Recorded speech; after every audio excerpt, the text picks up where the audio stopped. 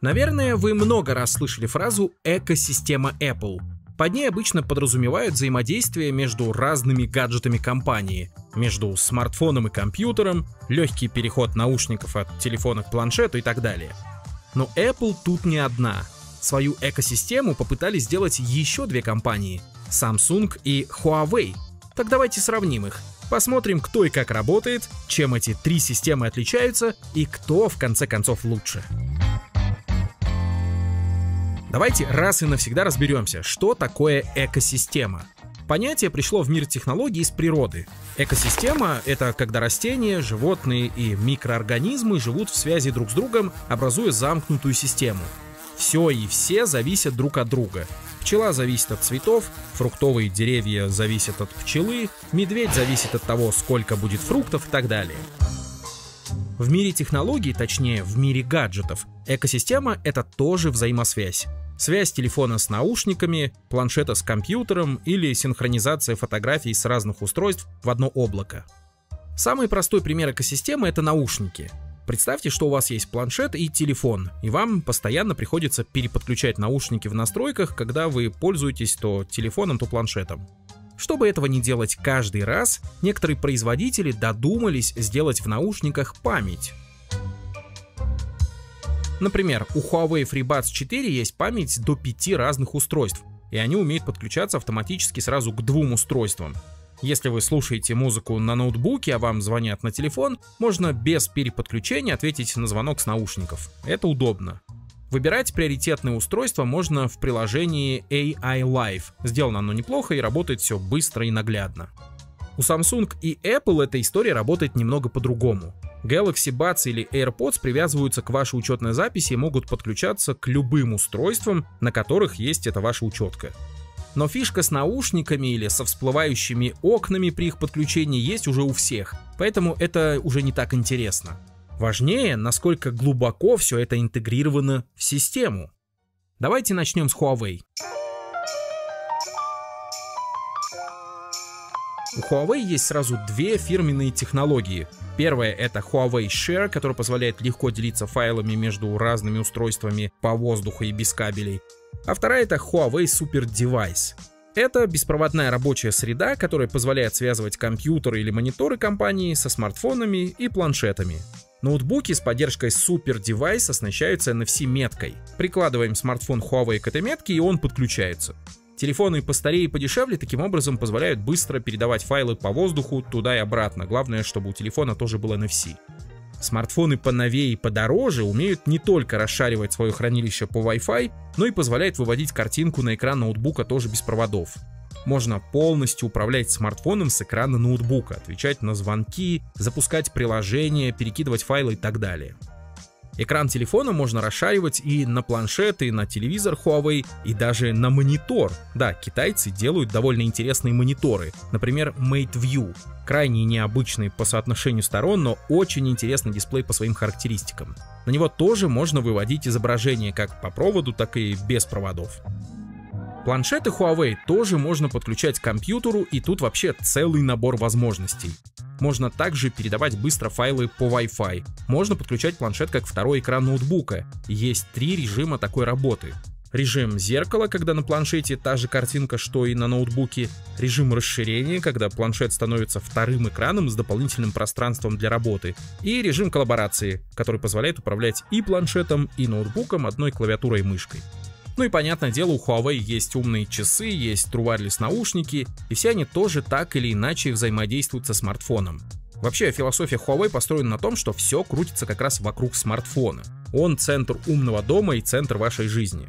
Также у Huawei есть и некоторые сервисы, например, собственное облако, где вам дается 5 бесплатных гигабайт, и вы можете докупить больше места, если вам не хватает. При этом доступ к облаку будет с любого устройства, надо только установить приложение. Есть поиск потерявшихся устройств и их привязка к вашему аккаунту. Есть общий буфер обмена, можно скопировать текст на телефоне и вставить его на ноутбуке или на планшете. В целом у Huawei получается такая больше мультимедийная история. Перекинуть экран, файлы, источник звука с телефона на планшет и так далее. Конечно же, компания пытается сегодня создать и связь на уровне облачной интеграции. Например, у Huawei есть приложение умного дома AI Live, куда можно добавить все ваши гаджеты и создавать сценарии. Проблема только в том, что Huawei пока больше ориентирована на собственный китайский рынок. Все эти гаджеты крайне сложно найти у нас. А работает AI Life, как я понимаю, только с устройствами от Huawei и ее партнеров. Добавить в умный дом Huawei лампочку от Xiaomi не выйдет. Такая вот система получается у китайской компании. Она вроде бы интересная, но видно, что ориентирована больше на внутренний рынок. У Samsung, в отличие от Huawei, история немного другая. Компания выпускает не только смартфоны, часы и планшеты, но и бытовую технику. Отсюда сильный крен экосистемы в сторону умного дома. У Samsung есть фирменное приложение SmartThings. Оно доступно на всех платформах, и на iOS, и на Android, и на Windows, и даже на телевизорах. В приложении SmartThings можно добавлять устройства не только Samsung, а практически любой компании и создавать самые разные сценарии – Например, можно запрограммировать лампочку, чтобы она загоралась зеленым или красным, когда у вас закончилась стирка или приготовилось блюдо. Или можно настроить, чтобы утюг или весь свет в доме отключался, когда вы и ваш смартфон покидаете этот дом. Таких вариантов тут много, и вы можете сами их придумывать. При этом у Samsung есть своя экосистема и вокруг смартфона. Есть умные часы, есть наушники, есть умные брелоки Smart Tag, позволяющие искать вещи, и есть само приложение для поиска этих потерянных вещей и гаджетов. Кстати, в отличие от ипловского AirTag, брелок Samsung имеет встроенную кнопку, и ее можно запрограммировать на три действия. По двойному нажатию будет включаться поиск телефона, а на одно нажатие и долгое зажатие можно повесить вообще любую функцию, например, отключение и включение всего света в доме. Некоторые флагманские смартфоны Samsung могут также работать и как компьютер в режиме DeX. Подключаете его к телевизору или к монитору с поддержкой Miracast без проводов, и вот у вас уже компьютер, что-то вроде хромбука. Телефон при этом можно использовать как тачпад, или можно к нему подключить клавиатуру и мышку.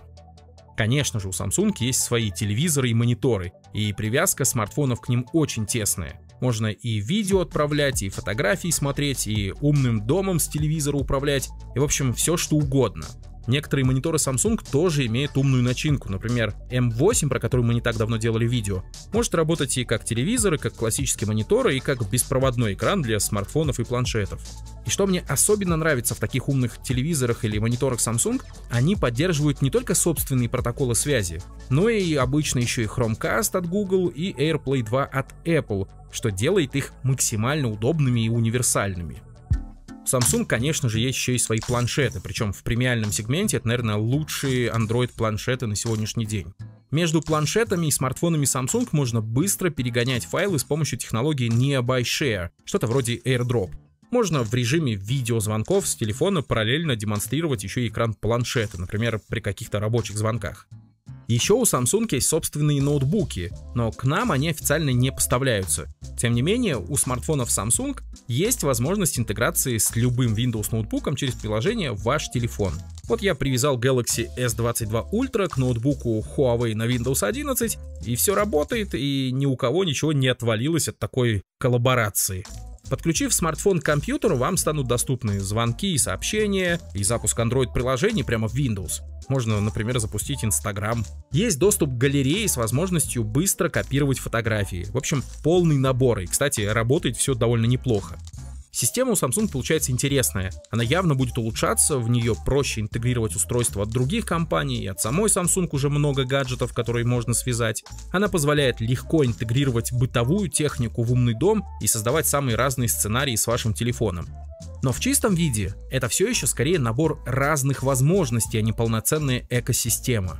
Samsung только начинает активно внедрять полноценную связь как раз на базе своего умного дома SmartThings. Думаю, что через 2-3 года они смогут нагнать Apple по количеству и качеству возможностей. И вот мы дошли до самого главного. Чем отличается экосистема Apple от конкурентов и почему про нее так часто говорят? Для начала перечислю несколько вещей, которыми я пользуюсь чаще всего. AirDrop. Я думаю, вы знаете, это передача файлов и ссылок с Mac на Mac, или с iPad на Mac, или с iPhone на iPad, без разницы. Работает AirDrop хорошо, и это очень удобная штука. Handoff — это когда вы можете начать работать в программе или играть на iPhone, а продолжить на MacBook. Возможность принимать звонки и сообщения не только на телефоне, но вообще на любом другом устройстве Apple. Можно использовать iPad как второй экран для MacBook. Можно использовать одну клавиатуру и мышку вообще для всех устройств. Есть общая фотогалерея, общий буфер обмена, легкое переключение наушников, возможность использовать смартфон как пульт для Apple TV и так далее. У Apple таких связей очень много, и сделаны они зачастую интереснее. Дело в том, что компания сама проектирует все железо и софт, поэтому связи реализованы лучше. Но про все эти фишки есть куча разных видео, вы можете посмотреть их на YouTube, если вам интересно. А я вам сейчас покажу, в чем настоящее преимущество Apple. Во-первых, у компании есть умный голосовой помощник Siri. Да, у Huawei и Samsung ассистенты тоже есть, но они сильно отстают по возможностям и не говорят по-русски. Siri, конечно, тоже далеко не самый лучший и умный ассистент на планете, но его можно улучшить с помощью сервиса команды или Shortcuts, которые позволяют наколдовать себе вообще все, что угодно. От передачи скриншота с телефона сразу на компьютер до интеграции разных команд в умный дом. Я, например, чтобы не забывать поливать цветы, сделал себе вечернее напоминание, которое говорит мне «полей цветы» прямо из телефона, включает свет и запускает музыку на HomePod, точно не пропустишь. Или еще сделал себе команду для Siri «Спокойной ночи», которая отключает свет, телевизор и умные колонки. Просто говорите «Привет, Siri, спокойной ночи» и все выключается. Таких вещей в Shortcuts много, можно напрограммировать себе все что угодно и завязать все это на кастомные команды для Siri. У нас есть отдельное видео про команды и про шорткаты, посмотрите его, там довольно интересно, ссылочку оставлю в описании. Второе и, наверное, самое важное отличие экосистемы Apple в том, что она построена на облачной платформе iCloud, а не на отдельных приложениях. Ваш аккаунт Apple привязан к облаку, и там у вас хранятся все ваши бэкапы, пароли, записи в блокнотах и даже книги. В отличие от Samsung и Huawei, у Apple эта связь через iCloud выполнена на уровне операционной системы. Например, вы можете создать папку в iCloud на компьютере и закинуть туда нужные документы или файлы. Надо открывать какую-то дополнительную программу. Просто в самом Finder выбираете раздел iCloud Drive и копируете сюда что хотите. Теперь эта папка будет доступна вам со смартфона, ноутбука или планшета. Заходите в приложение файлы, находите эту папку и там лежат все документы, которые вы закидывали.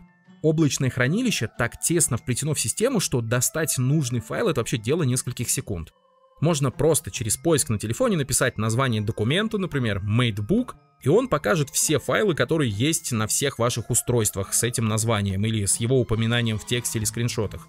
Вот тут у меня, например, на рабочем столе компьютера лежат обложки и звук для обзора. я легко могу вытащить все это дело хоть на телефоне, хоть на планшете. И такая синхронизация касается не только собственных программ Apple, но и сторонних производителей. У меня есть доступ ко всем текстам, что мы пишем для обзоров через несколько приложений. Через iWriter, который синхронизируется по iCloud, и через Notion. Например, текст вот этого обзора и любого другого я могу открыть и отредактировать через телефон или планшет. А найти его очень легко через поиск Spotlight. Свайпаем по главному экрану вниз, пишем название файла, и вот он. Не надо ничего открывать дополнительно искать там. В iCloud интегрированы не только телефоны и компьютеры, но и наушники, часы, умные колонки и метки AirTag. Если вы меняете часы, то при настройке новых все данные о ваших занятиях или физических нагрузках никуда не исчезают, они подгружаются вместе с бэкапом. Если вы настраиваете новые наушники, они привязываются сразу ко всем остальным вашим гаджетам с той же учеткой. И это удобно. Еще один пример облачной интеграции всех продуктов Apple между собой – это поиск потерявшихся устройств. У Apple есть сервис, который называется локатор. Если вы потеряете свой телефон или планшет, то он сможет передавать сигнал по Bluetooth другим устройствам Apple поблизости, даже если у него нет сети, а батарейка села. Если рядом с потерянной вещью окажется хоть какое-нибудь устройство Apple, вы получите оповещение о его местонахождении. Все современные устройства Apple в мире образуют такую глобальную сеть для поиска пропавших гаджетов и вещей. А если у гаджета есть чип U1, то он сможет показывать свое точное местоположение до нескольких сантиметров. Кстати, с AirPods Pro и AirPods 3 это работает даже в нашем регионе, попробуйте. Третье важное отличие экосистемы Apple от конкурентов – это единая подписка на все сервисы. Вы пользуетесь не только железками от Apple, но еще и ее сервисами – Apple Music, Arcade, iCloud, Fitness+, TV+, и News. Все это можно получить по единой подписке Apple One. Тарифы есть разные. Я, например, уже много месяцев пользуюсь максимальной подпиской Apple One Premier, который дает мне 2 терабайта в облаке, доступ к сериалам, фильмам, музыке и играм. И все это дело я расшариваю еще на пятерых человек, что делает подписку и удобнее, и, разумеется, выгоднее.